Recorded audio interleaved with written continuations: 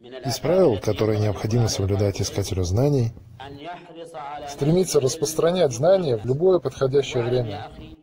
Знай же, брат, что у людей есть нужда в знании. Не говори, у людей есть знания. Однако люди иногда не проявляют беспечность, или забывают, или напоминание кого-то оставляет больше след сердца, чем напоминание другого. Бывает, что они проявляют беспечность. Бывает так, что людям прояснится то, что они не постигли. И это известная вещь. Распространение знаний является обязательным, если в этом появилась необходимость, и люди стали расспрашивать о нем, то выражается либо в положении дел, либо посредством высказываний.